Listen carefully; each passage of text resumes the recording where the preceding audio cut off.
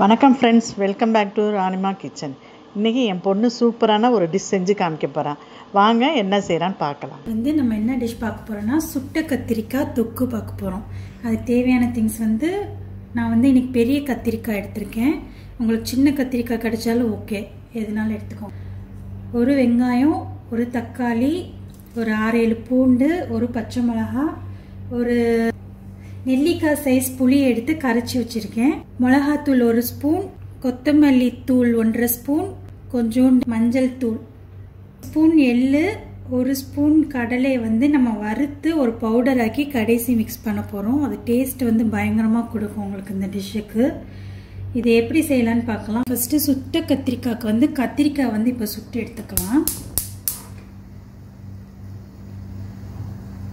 கத்திரிக்காய் வந்து இப்படி அடுப்பு மேலே வச்சு சுடுங்க.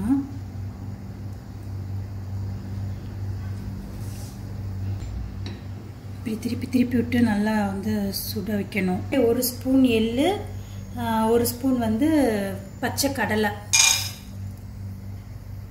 இதை வந்து ட்ரை ரோஸ்ட் பண்ணிக்கலாம் ஃபஸ்ட்டு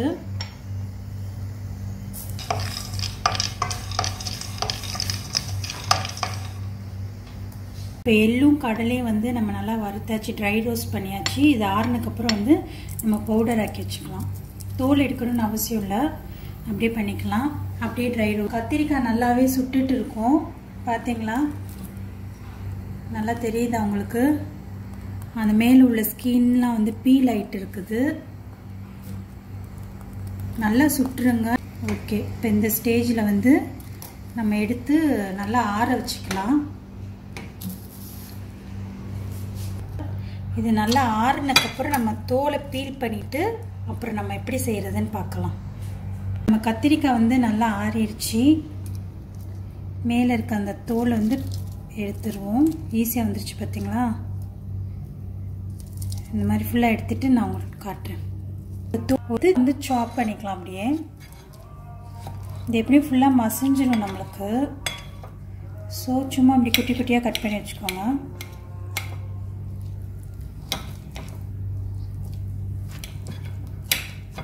கடாயை ஆன் பண்ணி அதில் வந்து நல்லெண்ணெய் ஊற்றி வச்சுருக்கேன். மூணு டேபிள் ஸ்பூன் நல்லெண்ணெயில் பண்ணால் தான் இந்த டிஷ் வந்து ரொம்ப சூப்பராக இருக்கும். எண்ணெய் காஞ்சிருச்சு. கடுகு போட்டுக்கிறேன். கடுகு நல்லா பொரியட்டும். இப்போ கடுகு பொரிஞ்சிருச்சு. ஒரு ஸ்பூன் ஒரு டீஸ்பூன் வந்து சீரகம். அரை டீஸ்பூன் வந்து மிளகு. பொரிஞ்சமே ஒரு பச்சை மிளகாய் நான் ஒரு அஞ்சு பூண்டு எடுத்து தட்டி வச்சுருக்கேன் இப்படி. இது நல்லா எண்ணெயில் வதங்கட்டும். பூண்டு வதங்கிடுச்சு கொஞ்சம் இப்போ வெங்காயம் போட்டுருவோம். ஒரு வெங்காயம் நான் இன்னைக்கு போட்டிருக்கேன். நான் எடுத்த கத்திரிக்காய் வந்து ரொம்ப சின்னது தான் ஸோ அதுக்கு ஒரு வெங்காயம் எனக்கு போதும்.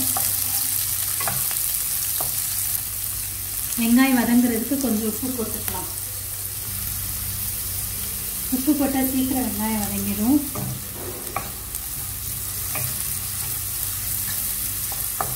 வெங்காயம் கொஞ்சம் நல்லா வதங்கட்டும். இப்போ வெங்காய கலர் வந்து நல்லா சேஞ்ச் ஆயிடுச்சு. இந்த அளவு வதங்கினா போதும். ரொம்ப ப்ரௌனாக வதங்கணும்னு அவசியம் இல்லை.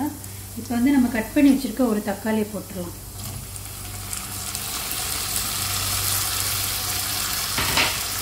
தக்காளியும் போட்டு நல்லா மசிஞ்சு வர வரைக்கும் வதக்கி விட்டுக்கோங்க.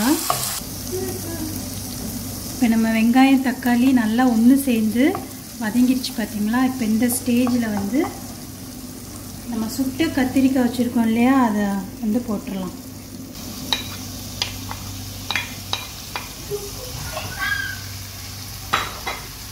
இந்த போட்டு நல்லா ஒரு வதக்கு வதக்கிடுங்க நம்ம கத்திரிக்காயும் போட்டு நல்லா வதக்கியாச்சு. இப்போ நம்ம எடுத்து வச்சுருக்கிற மல்லித்தூள் மிளகாப்பொடி மஞ்சள் தூள் எல்லாத்தையும் போட்டுக்கலாம்.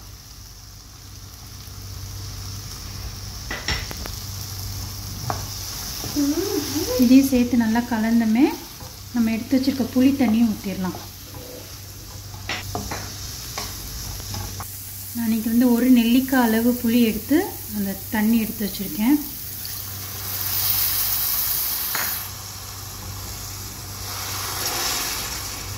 இதை ஊற்றி இன்னும் கொஞ்சோண்டு நம்ம தண்ணி ஊற்றி இன்னும் கொஞ்சம் தண்ணி ஊற்றி ஒரு பத்து நிமிஷம் நல்லா வேக வச்சுக்கலாம். நம்ம சுட்டதுலேயே கத்திரிக்காய் வந்து ஆல்ரெடி நல்லா வெந்திருக்கும். இப்போ இந்த மசால் வாடை புளி வாடைலாம் போகிறதுக்காண்டி நம்ம பாயில் பண்ணிக்க போகிறோம் இது மூடி வச்சு ஒரு பத்து நிமிஷம் வேக வச்சுக்கலாம். பத்து நிமிஷம் ஆச்சு. நம்ம கத்திரிக்காய் எப்படி இருக்குன்னு பார்க்கலாம். கத்திரிக்காய் போட்டதே தெரியல பார்த்தீங்களா நல்லா மசஞ்சிருச்சு. இந்த ஸ்டேஜில் வந்து நம்ம ஒரு ஸ்பூன் வெல்லம் சேர்த்துக்கலாம். புளிப்பு உப்பு காரம் எல்லாமே சூப்பராக தெரியும்.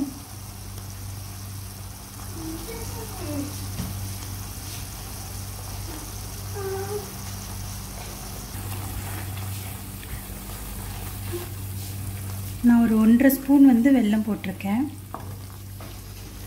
இந்த தொக்கு வந்து ரைஸு சப்பாத்தி பரோட்டா தயிர் சாதம் எல்லாத்துக்கும் செம காம்பினேஷன் ஒயிட் ரைஸ் வச்சு கொஞ்சம் நல்லெண்ணெய் ஊற்றி இதை போட்டு பெரட்டி சாப்பிட்டிங்கன்னா சூப்பராக இருக்கும். இந்த ஸ்டேஜில் வந்து நம்ம வறுத்து பொடி பண்ணி வச்சுருக்கோம் பார்த்தீங்களா எள்ளும் பச்சை கடலையும். இது கூட கொஞ்சம் ஒரு திக்னஸை கொடுக்கும் நம்மளுக்கு. பிரியாணிக்கு கூட சூப்பராக இருக்கும். பிரியாணிக்கு சைட் டிஷ்ஷாக வச்சு சாப்பிடலாம் வேறு எதுவும் தேவையில்லை. இப்போ அந்த பொடியை போட்டு ஒரு டூ மினிட்ஸு போதும். ரெடி ஆகிடும் ரொம்ப நேரம் வைக்கணும்னு தேவையில்லை. இப்போ வந்து ஆஃப் பண்ணிடலாம். நம்ம சுட்ட கத்திரிக்காய் தொக்கு ரெடி ஆயிடுச்சு. பார்க்கவே ரொம்ப நல்லா இருக்குது நீங்களும் எல்லோரும் ட்ரை பண்ணி பார்த்துட்டு எப்படி இருந்துச்சுன்னு சொல்லுங்கள் இந்த டிஷ் உங்களுக்கு பிடிச்சிருந்துச்சுன்னா லைக் பண்ணுங்கள் ஷேர் பண்ணுங்கள் கமெண்ட் பண்ணுங்கள் சப்ஸ்கிரைப் பண்ண மறந்துடாதீங்க.